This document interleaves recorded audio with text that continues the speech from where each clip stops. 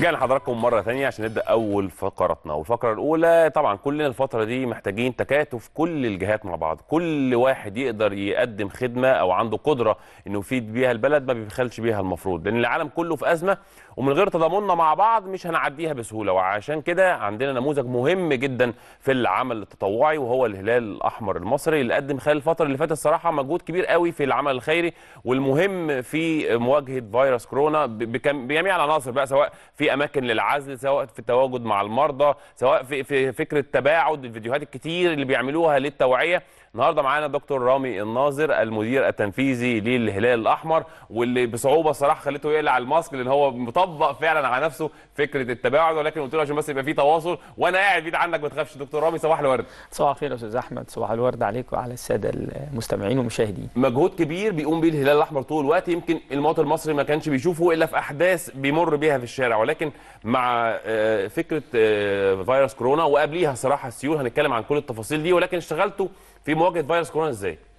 آه، بص يا فندم حضرتك إحنا قبل ما موجة كورونا ما تيجي مصر طبعا كان في مجموعة من الاستعدادات وهي آه، استعدادات للمتطوعين آه، تدريبهم على التوعية الصحية السليمة ارتداء الملابس الواقية آه، وضع خطة للعمل في 27 محافظة. آه، قبل ظهور الأحداث بحيث يبقى فيه زي عملية استعداد. بعد لما ابتدت بقى الموجة وبدأ يبقى فيه إعلان إن الفيروس موجود في مصر ابتدينا نتعامل من مجموعة من المحاور. أول حاجة المحور هي آه، آه، رصد ال- ال- النقاط الساخنة اللي في الجمهورية اللي بدأ يبقى يتم اكتشاف فيها أحداث أو الأماكن اللي عليها ترددات عالية. ومن هنا بدأنا نعمل بقى عمليات تعقيم وتطهير موسعة للأماكن ديت.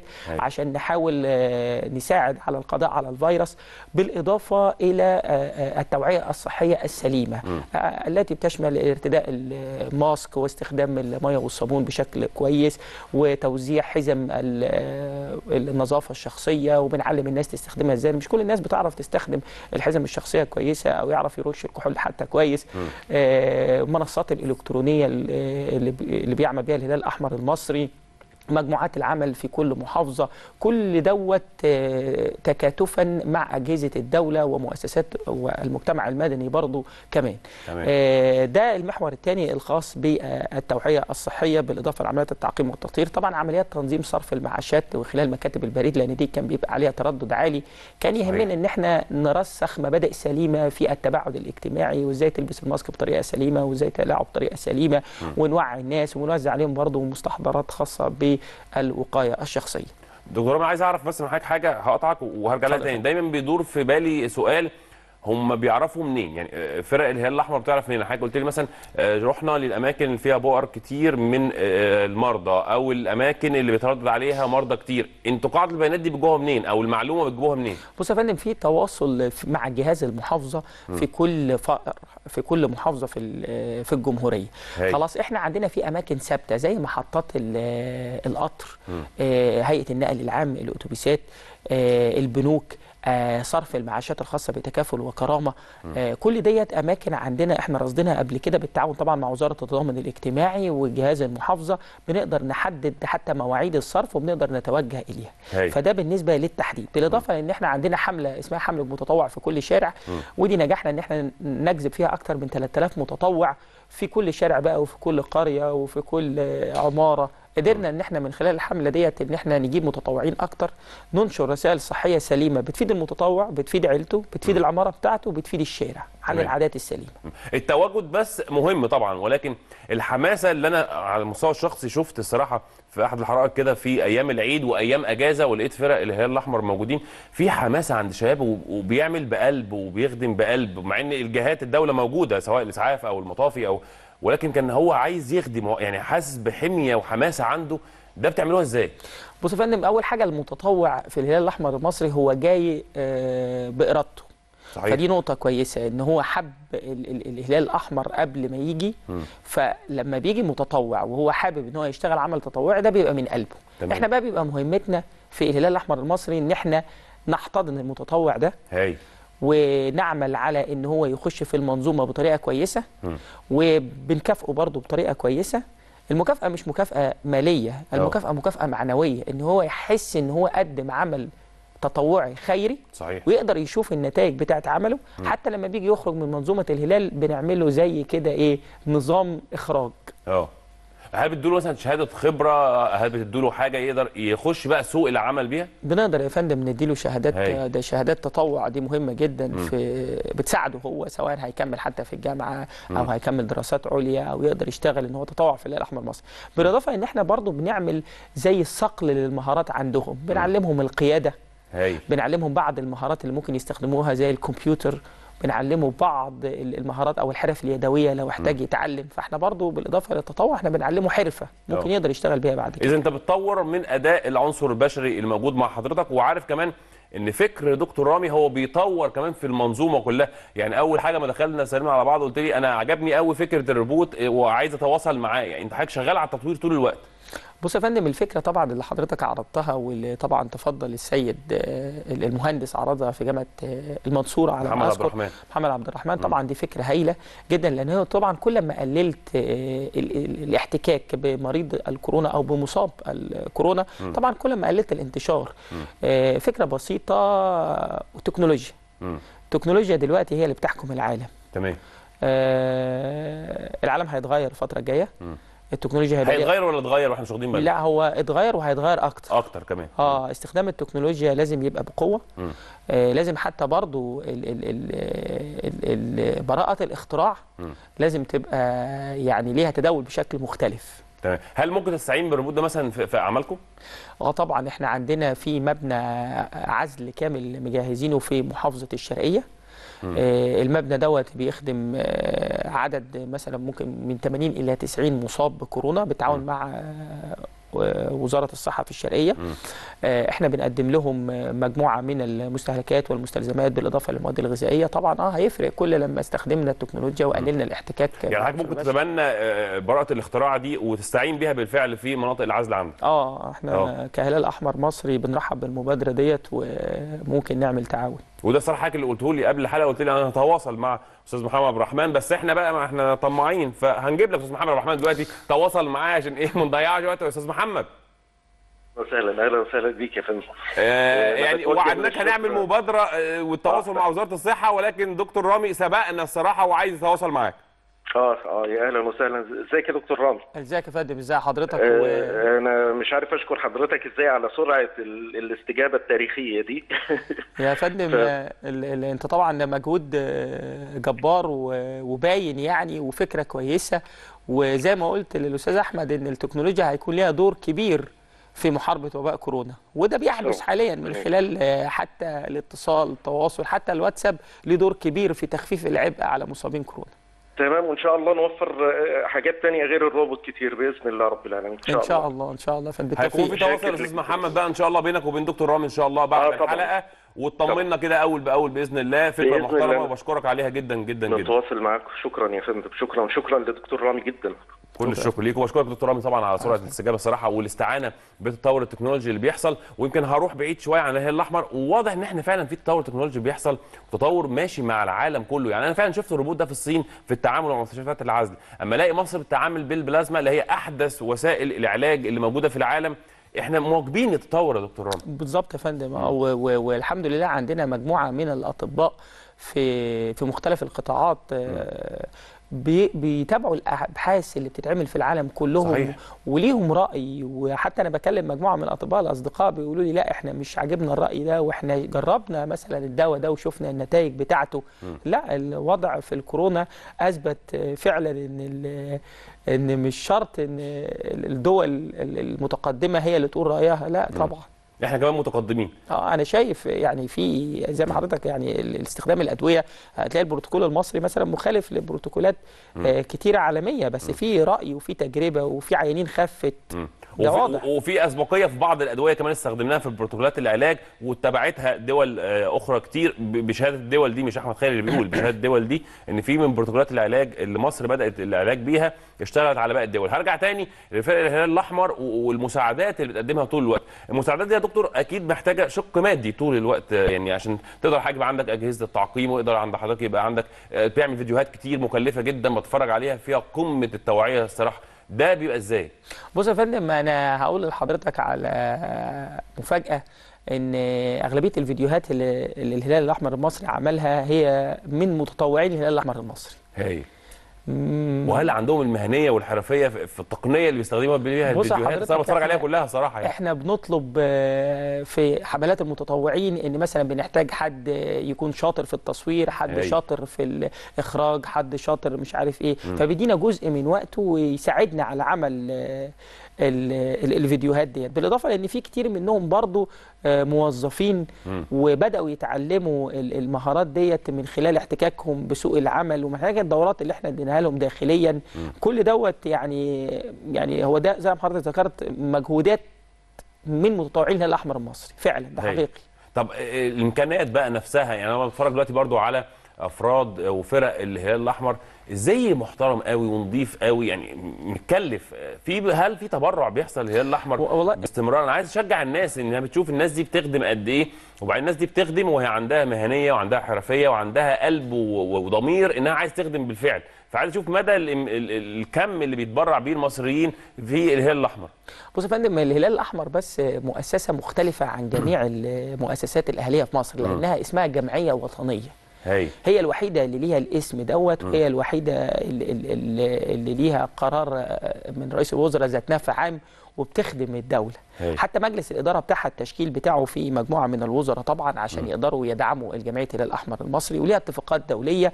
إحنا ملناش ميزانيات مخصصة من الدولة ولكن بنعمل من خلال ال- زي ما حضرتك ذكرت التبرعات اللي بيساعدنا فيها المؤسسات الكبيرة في الدولة. هاي. آه، لينا رقم آه، من خلال آه، بنقدر نجني منه تبرعات.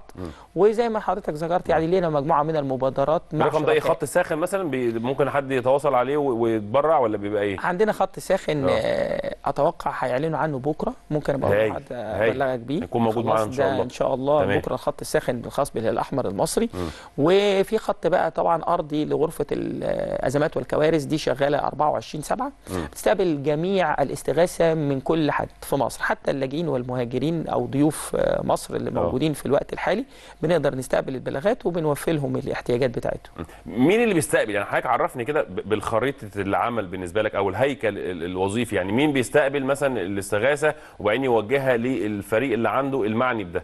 بص يا فندم عندنا غرفة عمليات فيها مستقبلين بلاغ.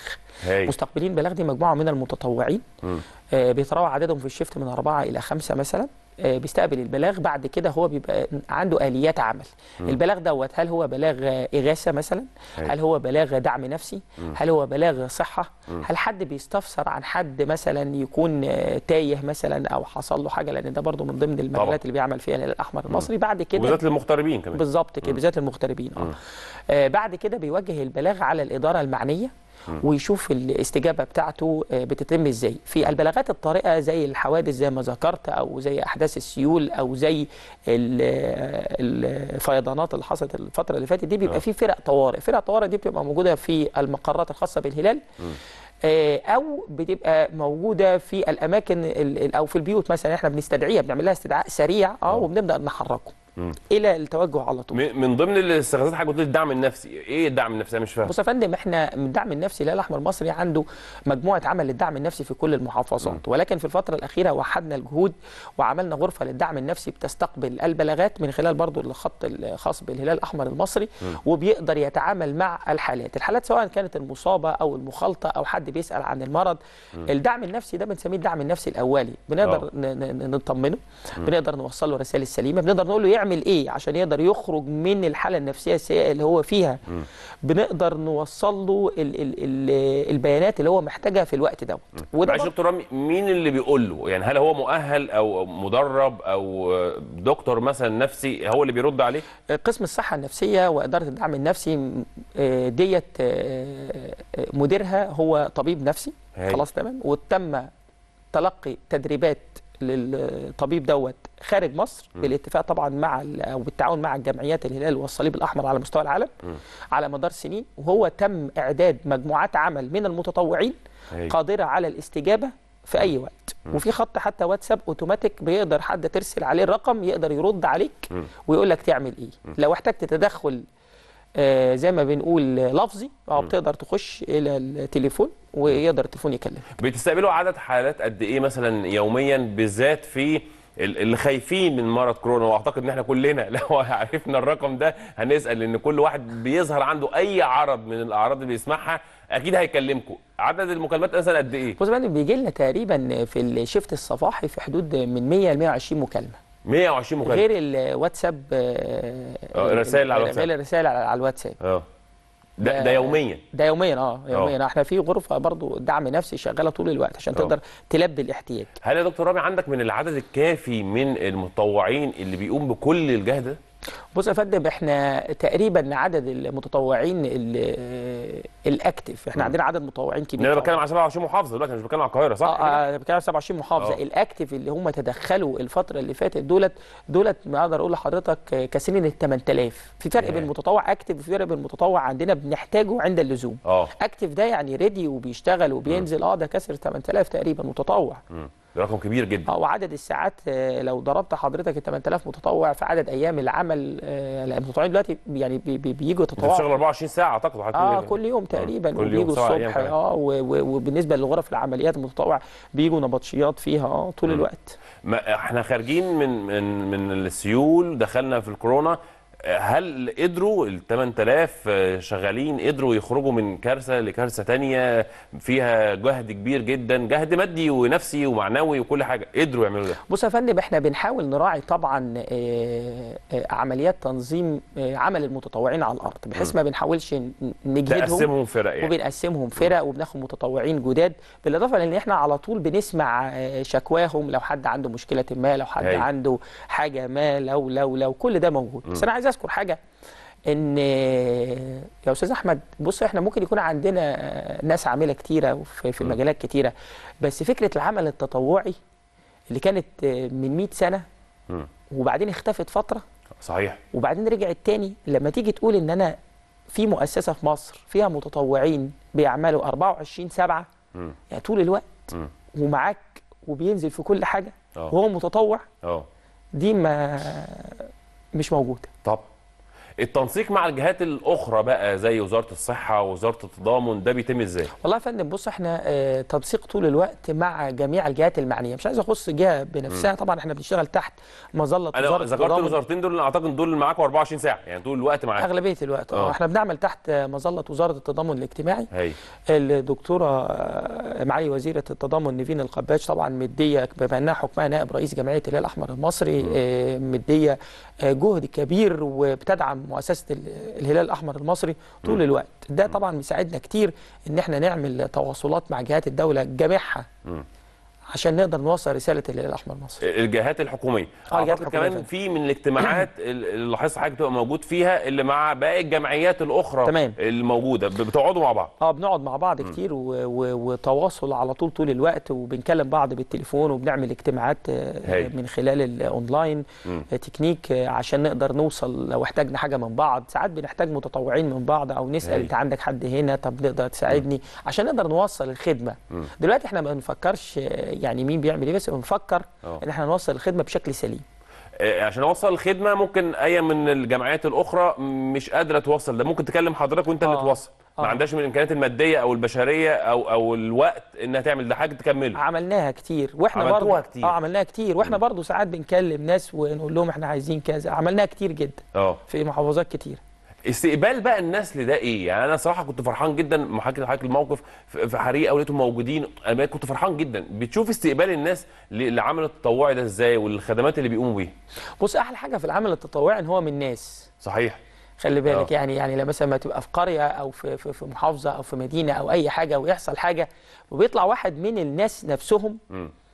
بيقول أنا من الهلال الأحمر المصري وأنا بساعدكم بيدينا مصداقية. طبعا. لأن هو بيبقى من وسطهم. هل حضرتك بتشترط ده يعني مثلا اللي هيشتغل في فرق القاهرة يكون من سكان القاهرة اللي هيشتغل في فرق أسوان يكون من آه أسوان؟ ده بتشترط ده آه محافظات بنشترط إن آه. هو اللي بيشتغل من هنا يبقى من هنا. آه. ولازم يبقى من الناس. وبندور كمان على القادة المجتمعين ونحاول نضمهم معانا. مم. بنبحث عنهم آه طب لو أنا عايز أتطوع يعني في حد بيتكلم بيتفرج علينا دلوقتي وتحمس جدا للعمل التطوعي وشايف قد إيه الناس بتبذل مجهود بجد وعاملة نوع من أنواع التكاتف والتراحم الصراحة ما بين أطياف المجتمع كلها يعمل إيه؟ بص حضرتك بيخش على صفحة الشباب والتطوع اللي موجودة على الفيسبوك أو يخش على ال website.